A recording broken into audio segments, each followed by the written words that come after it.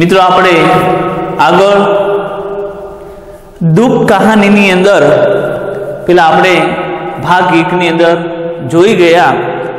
આજે દુઃખ કહાનીની અંદર હેમા, દિલીપ અને એક નાનકડું જે બાળક જે હોય છે, એના વિશે આપણે આજે પાઠની ચર્ચા કરીશું. તો દરેક વિદ્યાર્થી મિત્રોને મારે નિવેદન છે કે પોતાનું પુસ્તકની અંદર ધ્યાન દોરે તો વધારે મજા આવશે સૌ પ્રથમ મિત્રો दुख कहानी के अंदर यशपाल उनका लेखक है ये ठोस यथार्थवादी कहानी है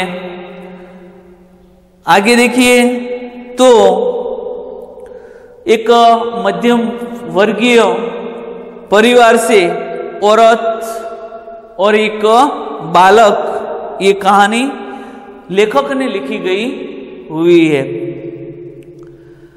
आगे देखिए दो कहानी में जिसे मनुष्य सर्वे पक्षा समझकर भरोसा करता है જ્યારે પૂરેપૂરી દિલીપ અને હેમાને સ્વતંત્ર જ્યારે અ, દિલીપે હેમાને પૂરેપૂરી સ્વતંત્રતા આપી દીધી છે અને अपमानित तिरस्कार प्राप्त हो तब एकदम जाने की इच्छा होने लगती है वो बात रुकना संभव नहीं है જ્યારે આવું એક પતિ પત્ની વચ- વચ્ચેનો જે પ્રેમ હોય છે અને જે પ્રેમ એ જ્યારે પતિ એ અ, પત્નીને એ પૂરેપૂરી સ્વતંત્રતા આપી છે.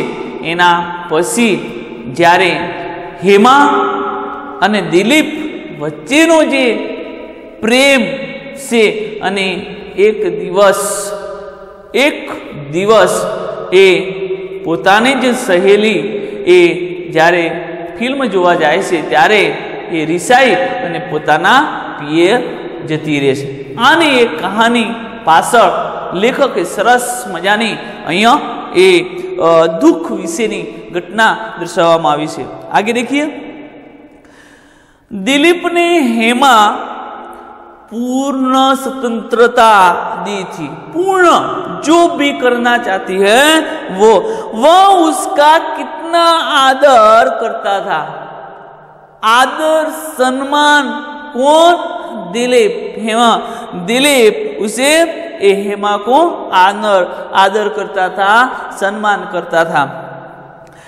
कितने आंतरिक एक दूसरे से कितने वह प्रति अनुश्रुत थे। वह बहुत से वह उसे अति अति उसे कहते हैं से कहेंगे अति उसे, ज़्यादा से ज़्यादा उसे, जब हेमा ने संतुष्ट न कर सका और केवल केवल हेमा दिलीप से उसकी सहेली साथ एक दिन फ़िल्म देखने के लिए सिनेमा जाता है। उसी के कारण एक दिन वो, हेमा, एक दिन सारा दिन वो रूठी रूठी रहती थी। दूसरे दिन उसे मायके चली गई। दिलीप ने क्षोभ का अंत ना रहा। उसे क्षोभ, उसे दुख का अंत न रहा। जब सितंबर का महीना चल रहा था और उसके बाद बसंत ऋतु चल रही थी, दिन भर पानी पानी पानी पर रहता था, बरसता था और दिलीप बैठक में, उनके घर में खिड़की के पास वो बैठे थे, पर्दा डाले बैठे थे। तब उसे विष्णुता की विष्णुता की विरक्ति उसे कहते हैं, वैराग्य उसे कहते हैं। तो तब की ग्लानी ग्लानी मीन्स डोक उसे कहते हैं। स्वयं यत्ना बन जाते हैं स्वयं उसे डोक हो जाते हैं। एक मिनट गुजारा करना मुश्किल हो जाता है મિત્રો અહીંયા એક સામાન્ય બાબત એક ન જેવી બાબત આપણે કહીએ તો એક સામાન્ય બાબતની અંદર જ્યારે દિલીપ जारे उनकी सहेली के साथ एक दिन सिनेमा घर में फिल्म देखने जाते हैं तब उनकी पत्नी रूठी सुठी उनके पियर पियर चली जाती है तब वो चले जाने के बाद एक दिन दिलीप वो आ, उनके घर में बैठे बैठे एक दिन निकालना मुश्किल हो जाता है। समय को बीतने पर देखे दिलीप ने खींचकर सो जाने की यत्न यत्न मिस प्रयत्न करने का प्रयत्न यत्न मिस कोशिश उसे कहते हैं कोशिश करने लगा। वो सो जाने का कोशिश कर रहा है, लेकिन उसे नींद नहीं आती। उसके बाद क्या होता है, जिन्हें पर छोटा सा भाई, उनके दिलीप का छोटा भाई, वो धमधम से से वो उतरने लग, चले जाने से बाद सुनाई देता है। उसे आलसाई में, आलसाई हुई आँखों में आधा आधा खोल उससे दरवाजे पर और देखा। सो जाने के बाद दिलीप उसे वो आधा सोया हुआ है, आधा नहीं सोया, उनकी आँखों में से वो सामने, वो खिड़की के सामने वो दरवाजे था, उसके सामने उसकी नज़र डाली। छोटा सा भाई ने उसे हाँ उसे में हटाकर पूछा, भाई जी, आप, आपको कहीं जाना है? मैं मोटरसाइकिल हाँ ले जाऊँ? उनका छोटा सा भाई है, उसके कहीं टहलने के लिए जाने, जाना है। तो उसके भाई, बड़े भाई ने उसे पूछा कि आप कहीं भी जाना है? तो दिलीप ने वो दिलीप ने कहा, इस विघ्न से शीघ्र छुटकारा पाने के लिए लिए दिलीप ने हाथ से इशारे से इजाज़त दे दी। ત્યારે જલ્દી થી અને उसके सामने इशारा इशारा मीन्स संकेत संकेत मीन्स करके उसे इजाजत परवानगी उसे कहते हैं એને ઈશારો કરી અને કહી દીધું કે जे लई जा ગુજરાતી અંદર. ઉસે ઉન્હોને બંધ કરી લી. ફિર એને ઈશારો કરી અને પછી કીધું અને ફરીથી એની આંખો સે સોવા માટે પ્રયત્ન કરી રહ્યો છે, પણ એ ઊંઘ આવતી નથી. આગે દીવાર દીવાર પર ન ટંગે ક્લાક મિસ ઘડિયાળ ઉસે કહેતે હૈ. सी કમરેશ से गूंजते हुए छ बज जाने का उसे સૂચના દી ગઈ.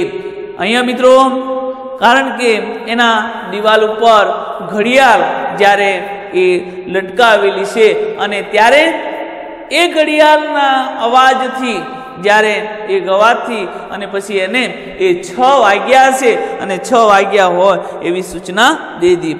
દિલીપ કા અનુભવ હુઆ? મેરા દેહ દેહ મીન્સ શરીર. મેરા દેહ યુ કેન પડે રહેગા? મારું શરીર છે, આવીને આવી રીતે પડી રહેશે. એ કહે છે, મેરા દેહ કી કેદ મેં પડે રહેગા? ઉઠકર ખીડકી કે પડદા જ્યારે સૂતો છે, ત્યારે એના જે બારીનો જે પડદો જે લગાવેલો છે અને એ પડદો હટાવીને એ જુએ છે, ત્યારે આગળ જોઈએ. પડદા હટા કર તો એ દેખા તો બારીશ मित्रों सितंबर वर्षा ऋतु का उसका वर्षा ऋतु चल रही है और उससे ये बारिश थी वो बारिश थम गई थी मिस बारिश बरसात ये बंद થઈ ગયો તો अब दूसरे से दूसरा भय हुआ कोई भी बैठेगा और अप्रिय चर्चा चल जाएगा और उसने देखा और कोई दूसरा आएगा और इधर बैठेगा और व्यर्थ ही चर्चा चलेगा।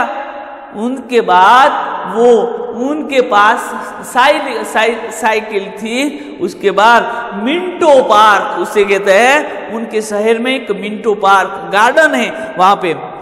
वो उठा बाइक की साइ, साइकिल ले और गली के कीचड़ के बचता हुआ अधिक लोग को निगाहों पे छिपाता हुआ मोरी दरवाजे, उसके गाँव में मोरी दरवाजे पर बाहर निकलकर पुराने फसील से, बाग से होता हुआ मिंटो पार्क में ये लंबे चौड़े मैदान में पानी भरा घास पर पहुँचा तो तेज जोक में ठुठुरने की इसी समय कौन आता है?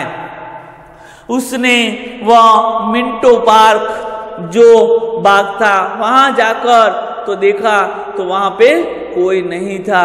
उसने मन ही मन में सोचा। क्या देखा? मन ही मन में उसने सोचा कि ये छह बजे, छह बज गई है और बारिश का मौसम चल रहा है और इधर ठिठुरने के लिए, ठंड लगने के लिए, ठिठुरने लिए इधर कौन आएगा? उन्हें मन ही मन में उसे सोचने लगा।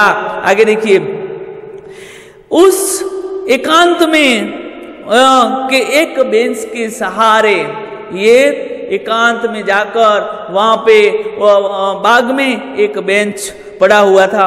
उसे वहाँ जाकर वो बैठने लगा।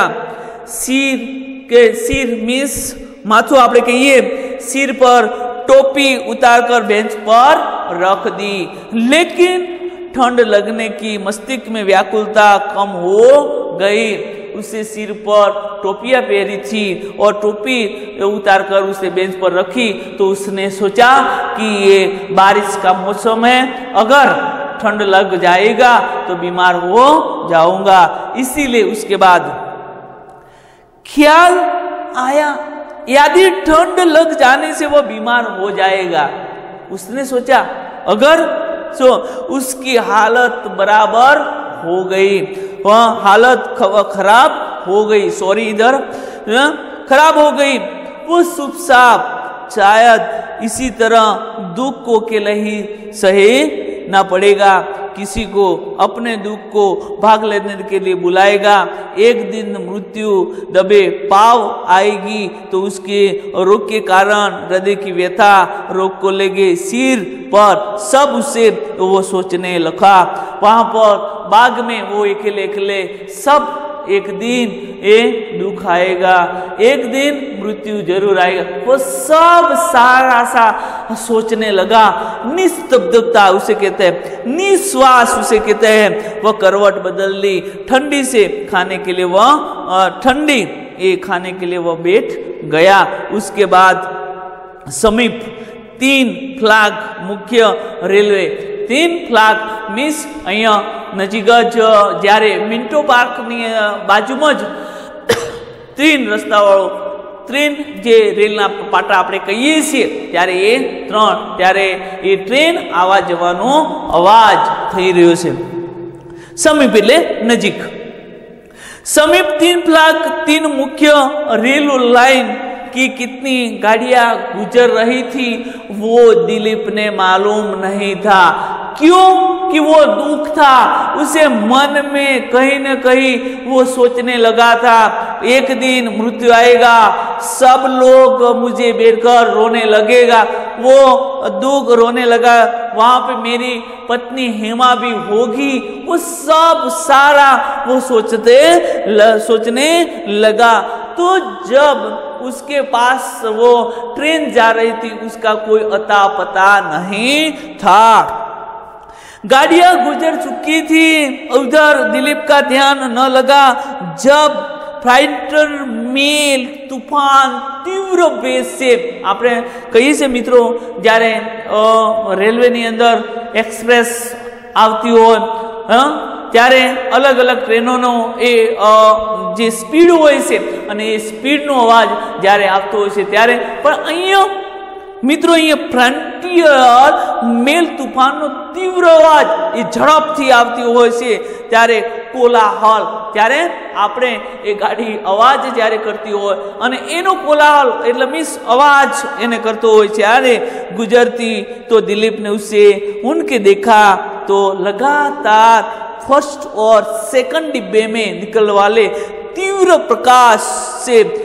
आ, समझ गया कि प्रिंटियर मेल तूफ़ान ये आ रहा है। इससे बाद वहाँ पर बैठे बैठे साढ़ा नौ बज गए थे। वो सोचने लगा तो वो साढ़ा नौ बज गए थे। वो सहे अन्य के प्रतिकार एक सम्मान से देखा और उसके बाद मन हल्का हो गया लौटने लौटने के लिए उठा शरीर में कुछ शिथिल થયા અહીંયા મિત્રો એ શિથિલતા એનાની અંદર તાકાત નથી કારણ સાયકલ લેકર વ પેદલ પેદલ પેદલ પેદલ બાગો બાગ જ્યારે પોતાની જે સાયકલ છે એ ચાલતો ચાલતો અને પગથી એ એ બાદશાહી મસ્જિદ ઓર મેદાન શહેરની અંદર જે ગલી છે અને ગલીની અંદર એ અલગ અલગ એ ચાલતો આવી રહ્યો છે आगे देखिए शिथिलता बाकी रहने के कारण साइकिल पर सड़ा नौ बदल पैदल पैदल बागो बागो से बादी मस्जिद टकसाली दरवाजे से, टकसाली से बाटी दरवाजे पहुँचा। मार्ग में शायद कोई व्यक्ति दिखाई दिया नहीं था। क्योंकि ऋतु का मौसम था, रात का समय था, साढ़े नौ बजे थे। दिलीप ने देखा, रास्ते पर कोई भी व्यक्ति नहीं थे। सड़क के किनारे स्तब्धता कि बिजली का लेम्प निष्काम से આપણે મિત્રો જોઈએ છીએ જ્યારે રસ્તાઓ પર ઘણા બધા એ લાઇટની વ્યવસ્થા હોય છે વર્ષા ઋતુની અંદર જ્યારે અનેક પ્રકારના એ જીવડા આપણે જોવા મળતા હોય છે ત્યારે એ દિલીપ પોતાની સાયકલ લઈ અને ચાલતો ચાલતો એ આવી રહ્યો છે सड़क पर पड़ रहा था मनुष्य के अभाव कुछ भी परवाह नहीं कर डाले और यहाँ से પતંગે ગોલે ગોલે મીન્સ આપણે ચોમાસાની અંદર જ્યારે જોઈએ છે જ્યારે કોઈ બી લાઇટ ચાલતું હોય છે ત્યારે પતંગિયા છે એ પોતાનું એ ગોળ ગોળ ગોળ ગોળ ચક્કરથી અને એ ચક્કર ચક્કર લગાવી અને નૃત્ય, હે? નૃત્ય કરતું હોય એવું એ દિલીપ એ વિચારી રહ્યો છે. जगत में अद्भुत नमूने हैं। दुनिया, उसे कहते हैं। दुनिया में अलग अलग ये नमूने होते हैं। प्रत्येक पतंगा का नक्षत्र भांति अपने मार्ग पर चक्कर काटता रहा। और कोई छोटा सा, कोई बड़ा वो यहाँ, सुझे, कोई दाएँ, कोई बाएँ, और कोई आगे, कोई विपरीत गीत में, गति में अंतर चक्का कर काटते लगे। कोई किसी से टकराता नहीं था। वृक्ष के पत्ते भी भीगे हो गए थे बिजली के लैंप में चमकता हुआ दिखाई देता था જ્યારે મિત્રો વરસાદ જ્યારે પડતો હોય અને વરસાદ પડ્યા પછી અને રહી ગયો હોય અને રહી ગયા પછી વૃક્ષની અંદર જ્યારે એ વરસાદનું જે પાણી છે અને એ પાણી પોતાના પત્તા ઉપર જ્યારે પાંદડા ઉપર જ્યારે એ પડ્યું હોય અને જ્યારે રાત્રિના સમય હોય અને જ્યારે પ્રકાશ, લાઇટનું જ્યારે પ્રકાશ પડતો હોય, ત્યારે એ વીજળીની અંદર, વીજળીની જેમ એ ચમકતા હોય છે. ત્યારે આપણે હું એ મનની અંદર ભાસ થતો હોય છે. તો અહીંયા પણ એ દિલીપ એ દિલીપ પોતે જ્યારે સાયકલ લઈને ચાલતો ચાલતો જ્યારે એ આવી રહ્યો છે, ત્યારે એ બધું અનુભૂતિ એને જોઈ અને એ વિચારી રહ્યો છે. બીગે પત્તા કે બીજલી કે પ્રકાશ મેં ચમચમા રહે છે.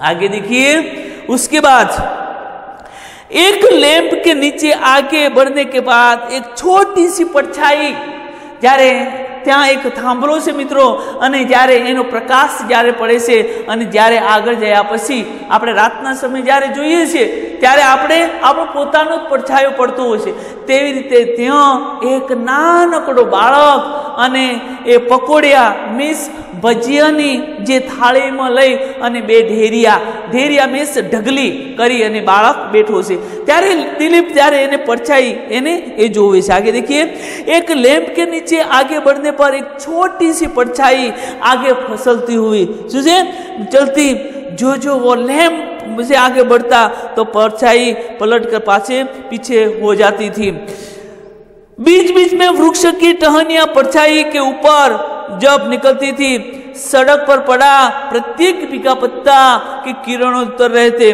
दिलीप ने सोचा, मोस्ट आईएमपी प्रश्न तुम्हारे यहाँ से मित्रों।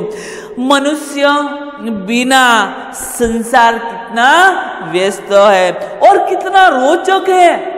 જ્યારે મિત્રો દુનિયામાં કોઈ માણસ જ ના હોય તો એ શું છે મનોરંજન જેવું કોઈ ના હોય ગુજરાતીની અંદર એવું કહીએ મનુષ્ય કે बिना संसार कितना व्यस्त और रोचक है आगे देखिए कुछ कदम कुछ कदम मिस થોડુંક એ ચાલવાથી कुछ कदम आगे ही सड़क पर किनारे नींबू કે વૃક્ષ કે છાયા હા એક અ, થોડાક ડગલા આગળ જ્યારે અ, દિલીપ જ્યારે જાય છે ત્યારે મિત્રો એક લીંબુનું ઝાડ છે અને ઝાડના પછી છાયાની અંદર શ્વેત સફેદ और सीज दिखाई दिया और बढ़ने लगा मालूम हुआ परंतु सदी अ, में सुनसान सड़क पर अ, पायजामा और पहरे हुए थाली में रखे वह कुछ बेच रहा था એક અ, ઠંડની અંદર ઠંડીની અંદર